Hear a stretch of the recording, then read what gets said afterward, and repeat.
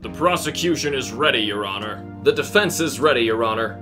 The defendant in this case is Ace Attorney Phoenix Wright Trilogy, and the prosecution is prepared to prove beyond a shadow of a doubt. Hold it! I believe you must be mistaken, as the defendant in this case is actually called Phoenix Wright Ace Attorney Trilogy. But you see, the series itself is called Ace Attorney. Phoenix Wright is just the subtitle. There's even an ace attorney where the protagonist isn't Phoenix Wright. That has no bearing on this case. We are reviewing Phoenix Wright, Ace Attorney Trilogy. Unrelated evidence is not admissible in court. Even still, you're unable to prove your wild fantasy that the game is called Phoenix Wright and not Ace Attorney. Take that! The defense would like to add this screenshot to the court record. What is this? This is the trilogy's save screen. Take a close look at the naming convention used for the save files. Phoenix Wright comes first, and Ace Attorney is the subtitle. In all three games! Now that we've cleared up the defendant's name, the defense would like to express their high recommendation to the credibility of the game in question, as I'm personally having a great start with it. Objection! A great start, you say? An interesting first impression statement considering the evidence you yourself just submitted for your client. As you can clearly see, you're not just starting. For the first game in particular, you've already finished! But the other two games are still in their early stages. At the very most, I'm almost finished. And almost finished isn't finished! Have it your way, Bomb. The prosecution calls its first witness! Now, based on what was clearly stated from the gameplay's testimony, the prosecution finds the defendant to be nothing more than a simple visual novel, devoid of any meaningful gameplay interaction. Objection! The defense requests its right to cross-examine the witness and dispute this claim. And with what evidence? As you can see, the game is about finding contradictions in testimonies by listening closely and using the court records and evidence as your only weapons in uncovering the truth and winning your cases. The game is actually an interactive detective story, but the majority of your time is spent in court progressing dialogue just like any other visual novel. Your detective theory is just as baseless as- HOLD IT! If the game weren't investigative, then why are entire days labeled as investigation days? As you can see, you'll be collecting evidence, studying crime scenes, and interviewing witnesses for ammo in court to defend your client's innocence. If swabbing for fingerprints and spraying luminol fluid to find traces of blood isn't detective sleuthing, then the defense asks the court, What is? Then how do you explain needing to find the exact contradictions that the game wants you to find in order? This can be really frustrating as you figure out the game's twists earlier than anticipated. This linearity attests to it being nothing more than a simple visual novel. Knowing about twists or lies in court isn't enough. The real challenge in the gameplay lies in proving it! Uh, no further questions for the gameplay. The prosecution calls its next witness. Now, as we can all clearly see from these screenshots, the defendant is graphically identical to any other visual novel. Nothing but a series of static backgrounds with marginally animated character sprites. Objection! Marginally animated? These GIFs added to the court record beg to differ. This may be one of the most energetic visual novels you'll ever play. It has a comically absurd anime vibe, that's evident. But even still, it's nothing special. If by nothing special you mean it's one of the most meme-worthy formats there is, the defense presents this very video as evidence. How very meta of you. But it will not save you from a conviction. A series of pictures, animated or not, is still akin to a token visual novel. Your argument is invalid without any tangible evidence. Take that! Then what do you say to these screenshots clearly showing players searching through and interacting with detailed backgrounds to aid in their investigations? Hmm. I say it's time we get to the heart of this case.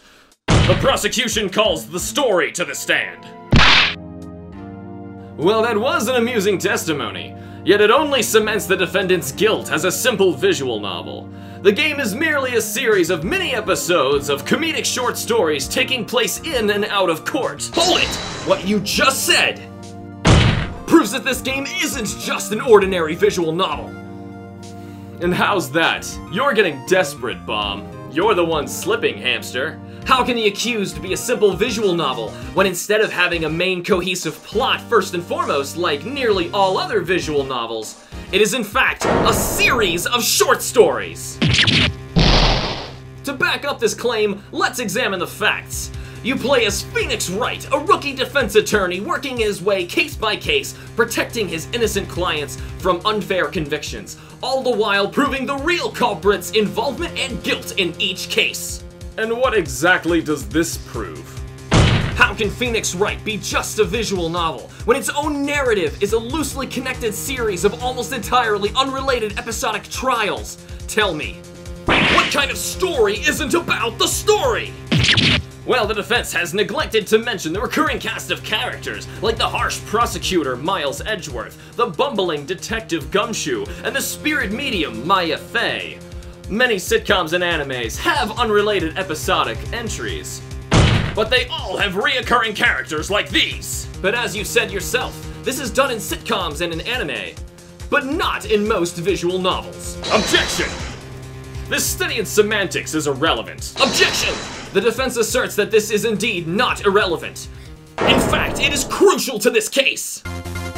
And how's that?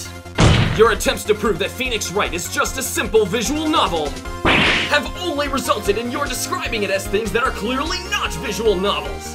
If anything, we've only proven that Phoenix Wright has created its own style of gameplay and storytelling, and has created its own genre.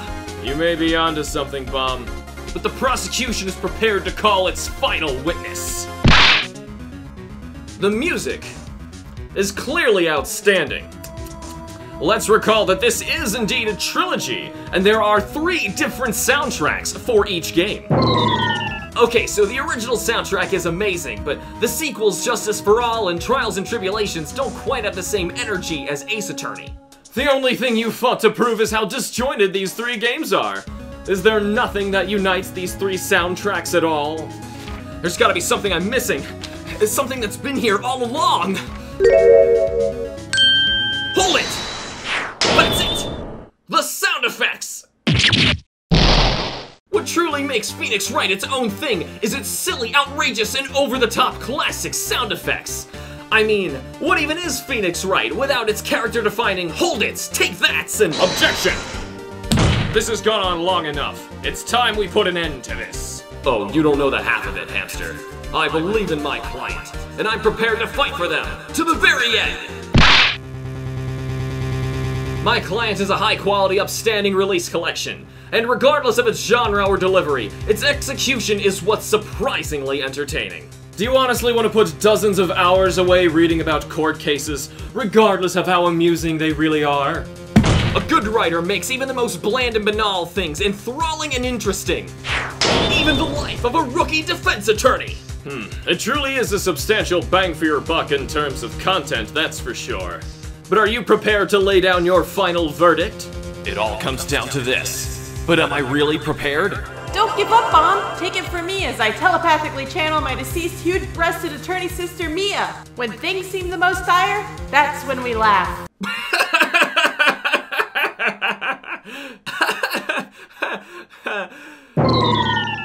man, she wasn't being literal. But how can I be sure I can even do this? That's right! My attorney badge! I thought it was just useless and taking up space in my inventory, but it's the key in proving that I'm qualified to stand by my client to the very end! Or that you've defeated Sabrina at Saffron City. I believe in Phoenix Wright!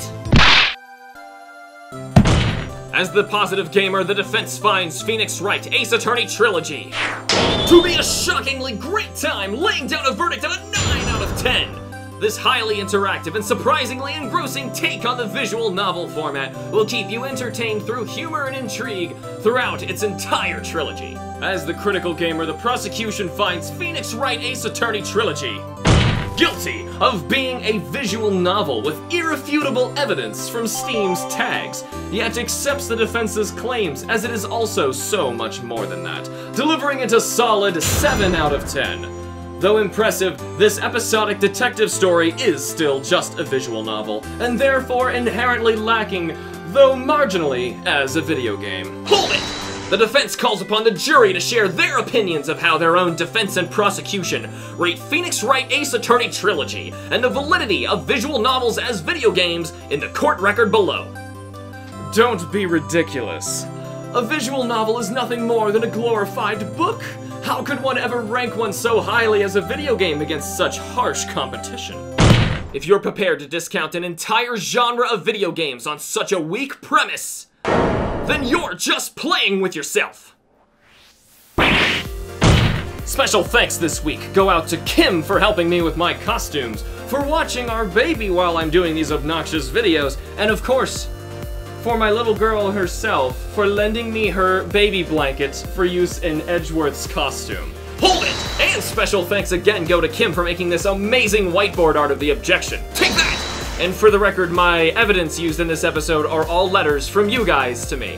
Thank you all so much for watching. Remember to like and subscribe for more, and use the links in the description to nominate future episodes. Thank you all to our Patreon members Atomic Thomas, Cameron, Arrow, Ben, Rowan, Erica, Shayam, Squad Fam Sid, and Denny.